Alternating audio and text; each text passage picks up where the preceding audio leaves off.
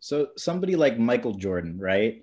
He is famous for doing this thing. I call it manufactured motivation, where he would make stories up just to get himself motivated. Like he would say that somebody said something to him that they never said just to get him hyped up.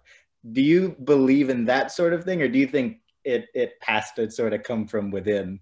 You know what? I know Michael pretty well, and uh, and we've talked about things like that. But I don't think there's any question that if you're a great, great player, and certainly I'm not sure we've seen a player like him in my lifetime because of his impressive play on both ends of the court. He was arguably, well, I don't think he arguably, he was the best offensive player and the best defensive player in the league.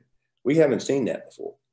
And, uh, but the competitive nature of Michael was just unique. And if there's someone that was sort of a challenge to him in terms of, you know, talking about the best player in the league, um, he was going to prove that that wasn't the case. And, um, and also he was going to lead his team. He was a, he was just a fierce competitor, but uh, physically, I'm, I'm not sure we've seen a package like that.